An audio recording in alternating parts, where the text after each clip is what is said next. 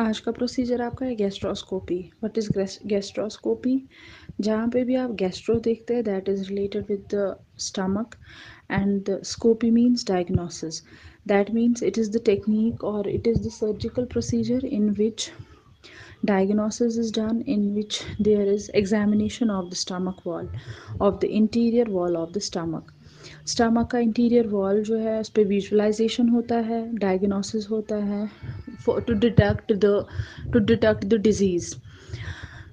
होता क्या है स्कोपी में ये हम यूजुअली डायग्नोसिस के लिए करते हैं इन्वेस्टिगेशंस के लिए करते हैं, जिसमें कि देखा जाता है स्टमक वॉल पे कोई डिज़ीज़ तो नहीं है, जैसे कि अल्सर है अल्सरेशन है, या हम कह सकते हैं ट्यूमर हो सकता है बिनाइन ट्यूमर हो सकता है मेलिग्नेंट ट्यूमर हो सकता है।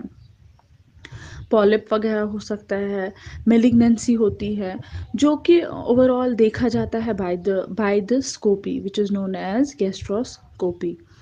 indications क्या है इसकी? नॉर्मली अगर देखा जाए, अगर पेशेंट में हर कोई इन्वेस्टिगेशन फेल हो रहा है, जो भी इन्वेस्टिगेशन हो रहा है, बिल्कुल फेल हो रहा है, कोई भी डायग्नोसिस नहीं हो रहा है,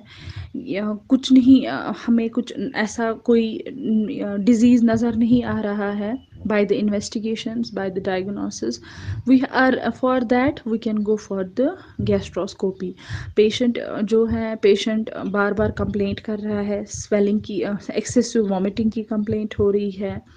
या appetite की loss of appetite हो रहा है patient में या हम कह सकते हैं हम देख सकते हैं पेशेंट में ऐसी कुछ एबनॉर्मल चेंज हो सकती है पेशेंट में वेट लॉस हो सकता है या डहेरिया हो सकता है। अगर ये चीज़ें दो महीने, तीन महीने छः महीने चल रही है, एक साल तक चल रही है अल्टीमेटली कोई ट्रीटमेंट नहीं हो रहा है कंजर्वेटिव ट्रीटमेंट फेल हो रहा है डायग्नोसिस नहीं हो रहा है किसी चीज़ का, हर कोई इन्वेस्टिगेशन हो रही है लेकिन सारा फेल हो रहा है ultimately we have to go for the gastroscopy हमें देखना है अंदर से जो स्टमक वॉल है, बिल्कुल ठीक है। कोई पॉलिप तो नहीं है कैंसर ग्रोथ तो नहीं है ट्यूमर तो नहीं है मेलिग्नेंसी तो नहीं है, जो सारा की डिटेक्ट होता है by the by the procedure which is known as gastroscopy तो गैस्ट्रोस्कोपी में हम एंडोस्कोप यूज़ करते हैं as it is a endoscopic procedure we use endoscope for that तो एंडोस्कोप इसके लिए यूज़ किया जाता है which is known as gastroscope जो कि बिल्कुल कनेक्ट होता है, उसमें लाइट सोर्स फिक्स होता है लेंस होता है, या कैमरा होता है, उसमें बाहर से उसमें लाइट सोर्स होता है फिक्स जो कि हमें मोनीटर पे विजुअलाइजेशन दिखाता है, जो कि हमारा, जो भी स्टमक वॉल है इंटीरियरली जो भी वॉल है स्टमक का, वो सारा हमें विजुअलाइज हम करते हैं ओवर द मोनीटर तो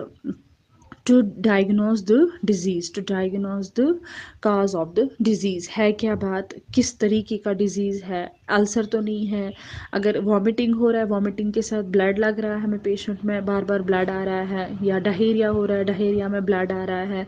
या अगर वेट लॉस हो रहा है लॉस ऑफ़ एपिटाइट हो रहा है, ये सारी चीज़ें हमें पेशेंट में नज़र आती हैं। For a, for a longer time for a longer period of time then we have to go for the endoscope which is known as gastroscopy तो प्रोसीजर से हम स्टार्ट करते हैं प्रोसीजर हम स्टार्ट करते हैं फ्रॉम द एनेस्थीसिया तो anaesthesia हम इसमें क्या देते हैं पेशेंट को we go for the general anaesthesia और we we can do the procedure without anaesthesia usually अगर देखा जाए, अगर हमें कोई पेशेंट में कुछ कॉम्प्लिकेटेड पेशेंट कोई नज़र आ रहा है then we have to go for the anaesthesia but अगर पेशेंट नॉर्मल है, कोई कॉम्प्लिकेसी नहीं है then we can go we can we can done the procedure without anaesthesia that means the procedure is to be done without anaesthesia तो लेकिन थोड़ा सा सीडिएशन दिया जाता है माइल्ड सीडिएट हम पेशेंट को करते हैं for the comfort for the comfortness of the patient ताकि कोऑपरेशन करे पेशेंट बिल्कुल कंफर्ट रहे, बिल्कुल कोऑपरेट करे हमारे साथ। तो उसके लिए हम थोड़ा सा पेशेंट को सीडिएट करते हैं। फॉर द सीडिएशन वो यूज़ मेडाजोलम।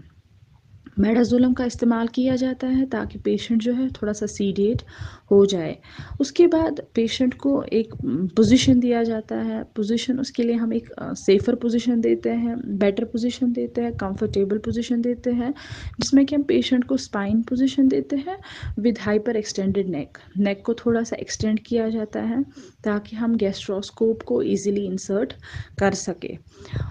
उसके बाद हम क्या करते हैं स्टूडेंट्स स्टूडेंट्स उसके बाद हम स्टार्ट करते हैं गेस्ट्रोस्कोप से, जो कि मैनिपुलेटेड होता है वेल मैनिपुलेटेड होता है गेस्ट्रोस्कोप होता है,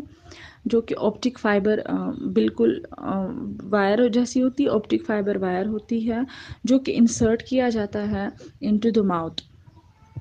माउथ में हम डाल के, हम मुँह में डाल के, गैस्ट्रोस्कोप को मुँह में डाल के थोड़ा सा डालने से, मुँह में डालने से पहले हम गैस्ट्रोस्कोप को थोड़ा सा ल्यूब्रिकेट करते हैं by using the jelly by using the lignocaine jelly हम जेली का इस्तेमाल करते हैं थोड़ा सा जो टिप है गैस्ट्रोस्कोप का,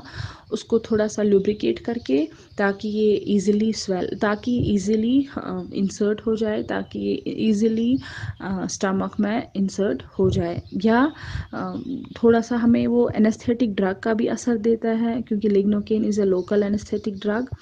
so उसके लिए भी हम यूज़ कर सकते हैं, ताकि ये बिल्कुल स्लिपरी हो जाए और इसकी जो सरफेस है स्मूथ रहे। स्मूथ सरफेस होने के लिए हम इजीली गैस्ट्रोस्कोप को इंसर्ट करते हैं into the oral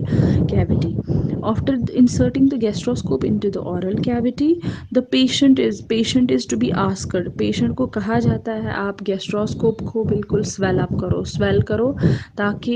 ये जो गैस्ट्रोस्कोप है, ये इजीली इंसर्ट हो जाए आपके स्टमक में. तो स्टमक में जब इंसर्ट होता है after the insertion of the gastroscope in the जब इंसर्शन होती है गैस्ट्रोस्कोप की, उसके बाद लाइट सोर्स को ऑन किया जाता है लेंस देखा जाता है फिट किया जाता है कैमरा देखा जाता है तो अंदर से जो भी विजुअलाइजेशन होती है, सारा जो ये कैमरा विजुलाइज करता है, और सारा वॉल जो है या सारे पार्ट्स जो है स्टमक पे, जहाँ पे हमें फोकस करना हो, इधर it can be fundus it can be body part और it can be uh, it can be body or it can be fundus spot. We use the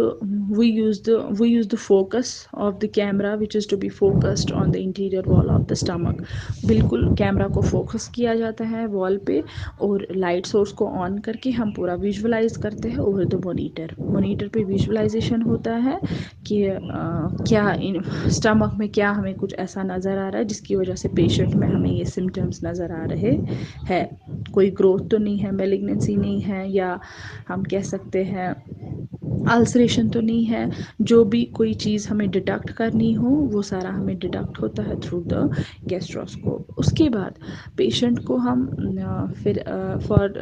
फिर उसके बाद रिज़ल्ट देखकर ही सब कुछ डायग्नोसिस करके गैस्ट्रोस्कोप को बाहर निकाला जाता है और पेशेंट को एडवाइस दिया जाता है to take to take slippery food